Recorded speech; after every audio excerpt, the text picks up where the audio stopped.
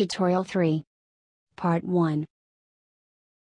In this tutorial we will see how to manage a cultural center with a few rooms and activities, that is the preset model cultural center. Let's assume that in our cultural center we have four rooms. The entrance, a cafe, a cinema room and a bingo hall. Each of these rooms has an independent sound system, individual lighting controlled by DMX, plus in the entrance we have a large screen on which we broadcast informations about activities. Our cultural center will have schedules that we want to be automatically managed by SCS following the computer clock. And this is the program we took as an example. At 5 p.m., opening. At 5:30 p.m., projection. At 6:15 p.m., bingo draw. At 9 p.m., closing. Alongside these main events, we may have other informative or internal events. At 5 p.m., opening, start of background music and lights on. At 5:20 p.m., announcement of the screening in 10 minutes. Cinema room opening. At 5:29 p.m., announcement that the screening is about to begin. At 5:30 p.m., projection, announcement about mobile phones and movie start. At the end of the movie, end of screening message, exit from the hall.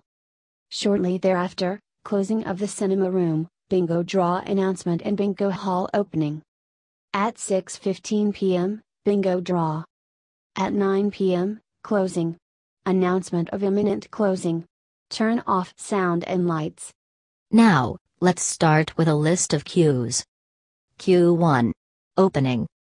Cue 2. 10 minutes to projection. Cue 3.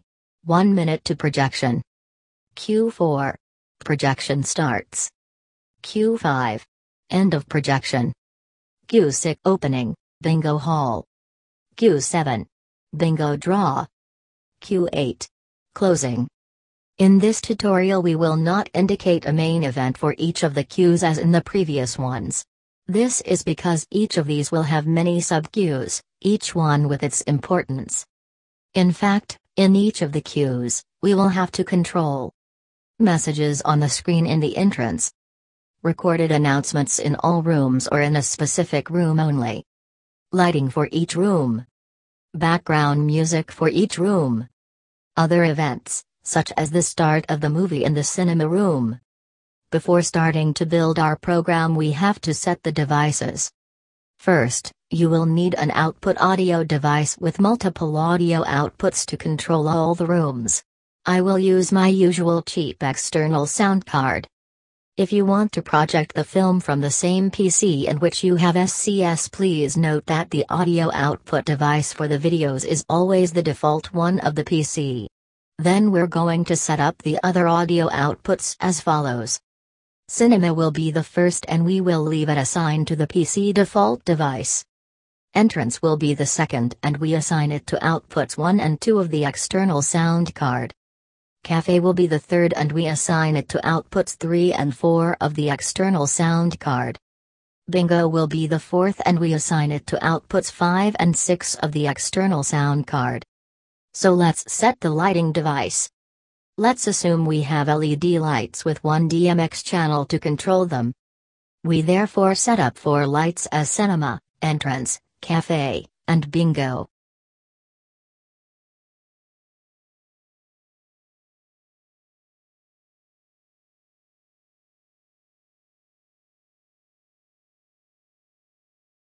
We then go on to set up a time profile.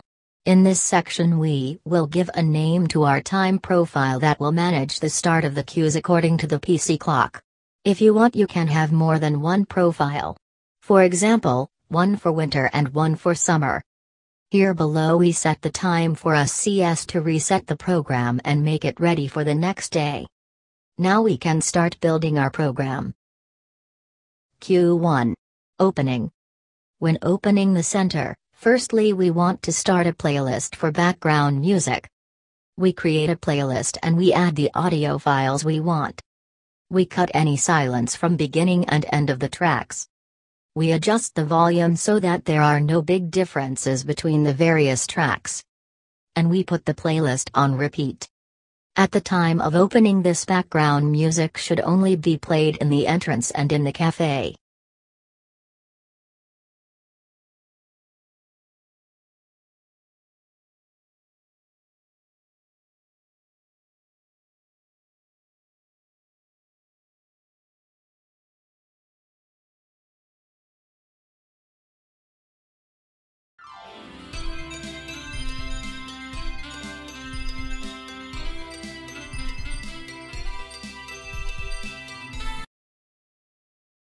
We now display a message on the screen placed in the entrance. On a memo cue we create a welcome message.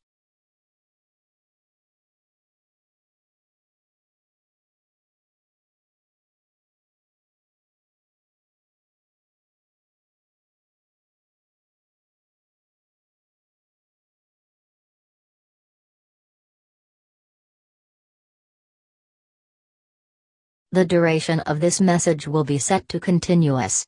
When we display a new message it will replace this one. We could also choose to use an image for this message and have a better graphic result, however I thought that the memo cues are so much easier to edit in case of schedules changes, new messages or else. We will call this sub-cue, on-screen message.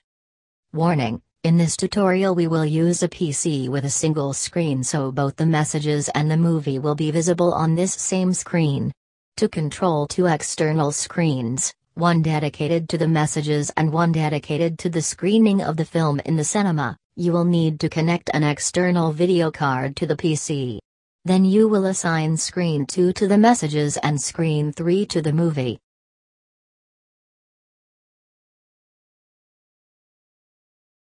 Now let's switch on the lights. In order to make fast changes in the future, I prefer to insert the lights of all the rooms in this sub-cue. We will call this sub-cue, Lights Control. For each different cue we will move the faders to set the lights level in each room. At the time of opening we only need to switch on the entrance and the cafe.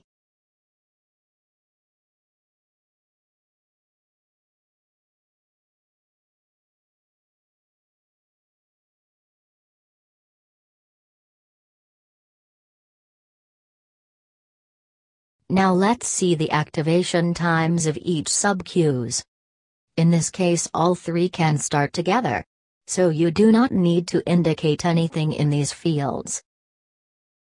The start of the cue itself will be timed. We then choose timed activation and write the time we want in each time profile. For this tutorial we will only set the summer scheduled times. Q2. 10 minutes to projection. As we said, for every cue, we have to control several items. Messages on the screen. Registered announcements. Lights. Background music. Other events. In this situation the copy-paste procedure will be of great help. Let's start with the on-screen message. We copy it from the previous cue and paste it like new cue. We then change the message.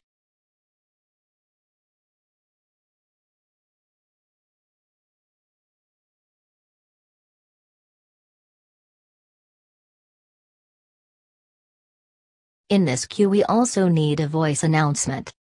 But before playing the announcement, we need to lower the background music so that the announcement is audible. We could do this by lowering the volume of the background with a level change sub-cue but I'd like to introduce a new type of cue, the callable cue. A callable cue is a cue that we will activate when needed. This queue will not start in chronological order like the others, this type of cue is particularly useful when you have an event that is repeated many times during the programs and always in the same way. In this case the requiring event is, lower the background music in all the rooms, whatever the current level of the audio. So let's start with creating a cue that performs this level change action. This will be our Q10. We put it at the bottom of the list. The level to be changed is that of the playlist with background music. The type of change we want is relative. We also choose that the change is the same for each device, or for each of our rooms. We apply a change of minus 20 decibels. Let's also put a time in which this change must take place. Finally, in the activation field we put, callable cue. Back to the Q2, to recall the change of level just created, we choose a call cue type sub cue. On this list we see the callable cue just created. Done. Now that the background music has been lowered, let's play our announcement. After loading the file we choose in which room we want to play this announcement. It will be played in the entrance and in the cafe.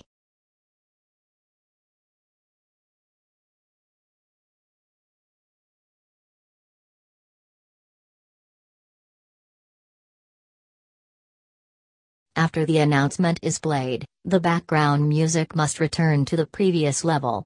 We will use the same procedure to create a callable cue that raises the volume of 20 decibels.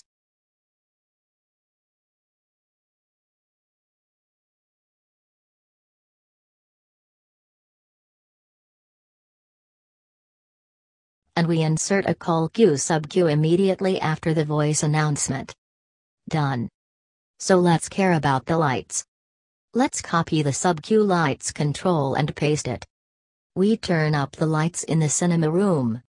Finally we send the background music also in the cinema room. To do this we use a level change sub-cue.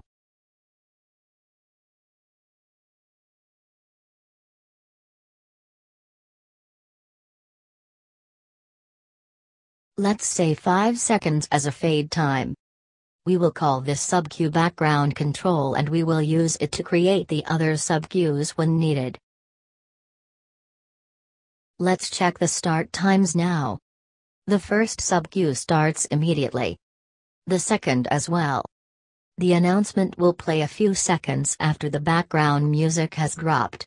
In this way we will have the attention of those present. At the end of the announcement we let a second pass before reactivating the background music.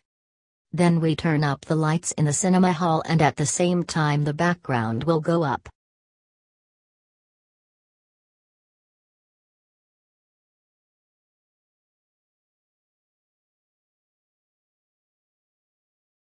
Last we set the time for this cue to start.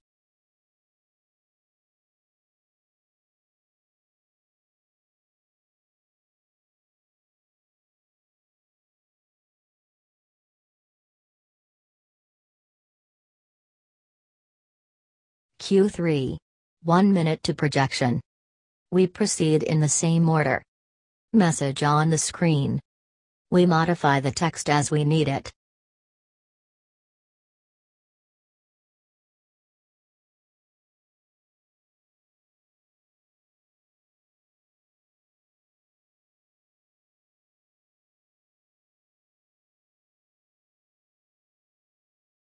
So let's move on to the voice announcement and use the same procedure to lower first and raise after the musical background.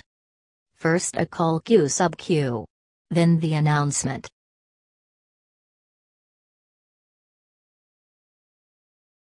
We need to hear this announcement in the entrance, the cafe and the cinema room.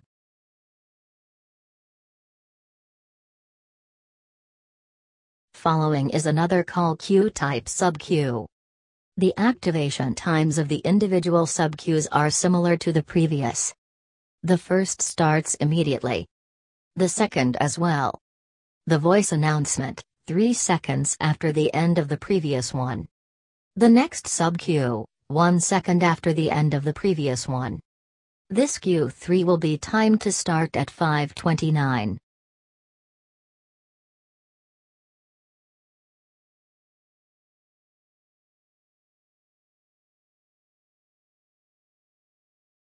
Q4. Projection starts. On screen message. We show that the projection is in progress.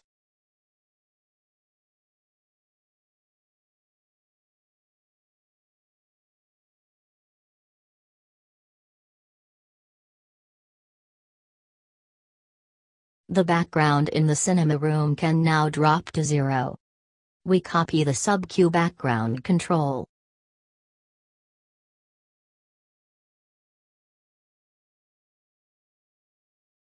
Then we have the announcement to turn off the phones and we want to hear it only in the cinema room.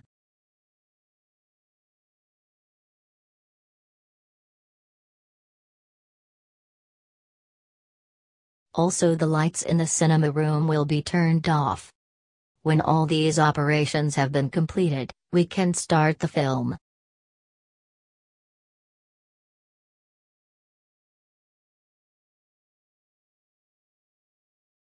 Since we will change films from time to time, we cannot set an exact start time for the next cue. So it is somehow necessary to indicate to the program that the film is finished. To do this we use an SFR cue which closes the Q4 when the movie is over. That is, stop immediately, no fade out in this field and Q4 as the cue on which to act. Reviewing the start times of all the sub-cues we have, the first immediately. The background immediately. The announcement after the background.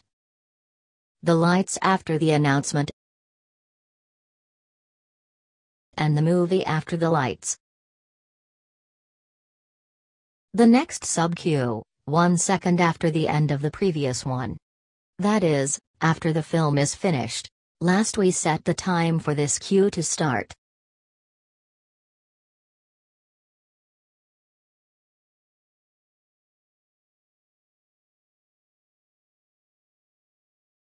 Q5. End of projection. We want now to let people out of the cinema hall.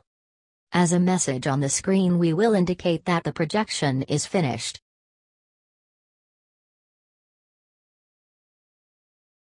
Then we turn on the lights in the cinema room.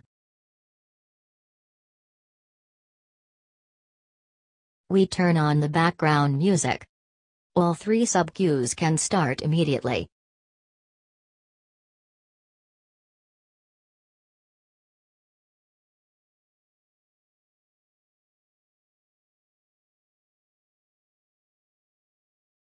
The Q5 will start after the end of the movie, when the Q4 will close.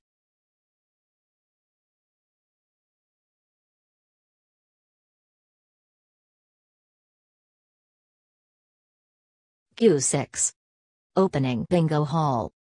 After some time we want to close the cinema room and open the bingo hall. First we create our usual on-screen message. We indicate that the bingo hall is open and the draw will begin at 6.15. Having also a recorded announcement for this we apply the same procedure to lower the background music.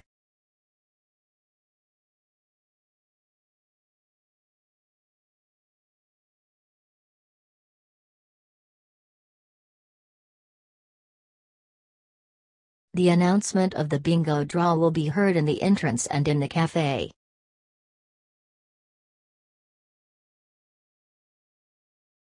Then we raise back up the background music to the normal level. After this we care about lights. Lights off in the cinema room and lights on in the bingo hall. We only open at 50% to get a nice low brightness before the draw begins. We also control the background music by turning it off in the cinema room and raising it up in the bingo hall.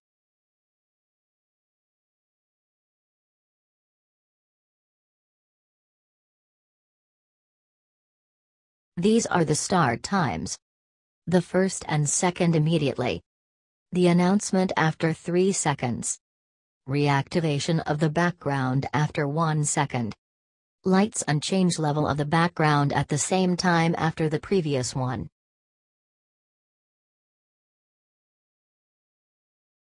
The Q6 will start after 3 minutes when the Q5 is over.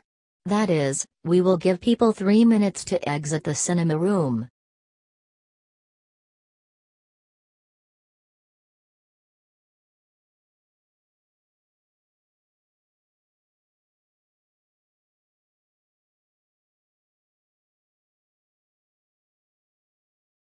Q7.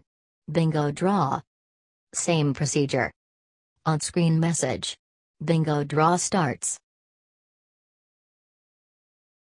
We do not want an audio message for this event. We raise the lights to 100% in the bingo hall. We lower the background music in the bingo hall so that the picked up numbers of the drawn are audible. All three sub-cues start immediately with the cue 7, which is timed at 6.15.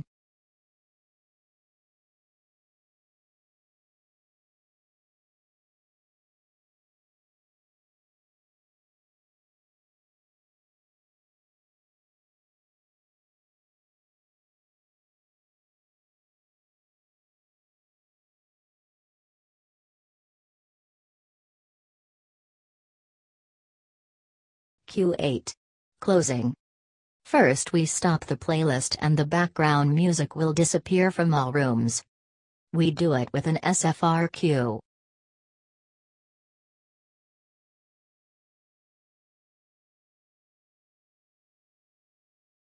Following is the announcement of the imminent closing time and that should be heard in every room.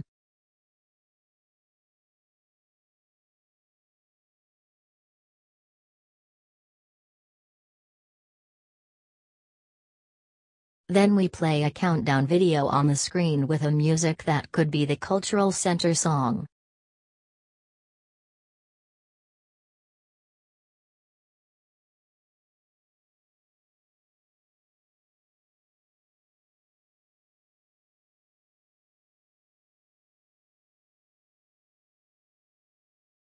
When this video ends, all the lights will be turned off.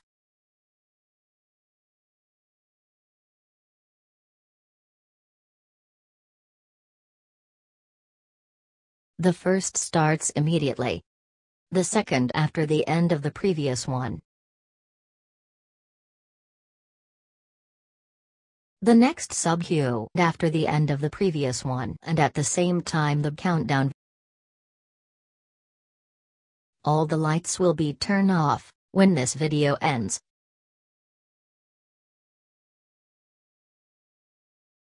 The start of the cue itself will be timed.